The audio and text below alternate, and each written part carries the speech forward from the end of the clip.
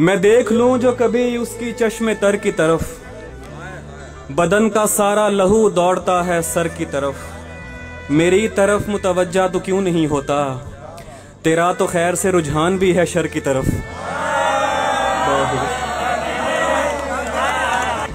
मैं अब गुबार में हूँ और इंतज़ार में हूँ।